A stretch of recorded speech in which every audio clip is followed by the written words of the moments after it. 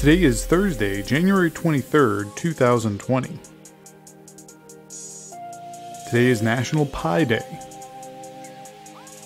If you spill any of that pie on your shirt, you might have to change your clothes, making your clothes clash. Well, it's okay, because today is Clashing Clothes Day. And while you're wearing your clashing clothes, maybe you'll jump in your snowplow and go play mailbox hockey. Well, you're in luck because today is Snowplow Mailbox Hockey Day. Tune in every day to find something to impress your favorite hockey player with.